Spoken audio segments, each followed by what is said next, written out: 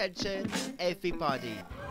My name is Queen of Midas.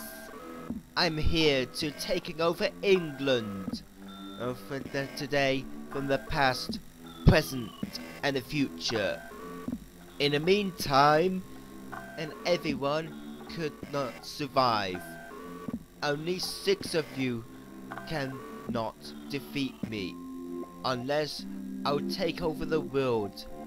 Or you might end the world up. In the big planet Earth of death. Look. What happened to the Piccadilly Circus? It's Banshee. See, I told you.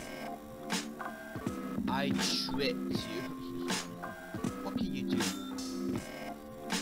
Can you release us? Please. I will let you go now. Get out of this police station now. Let's go. Get out of here.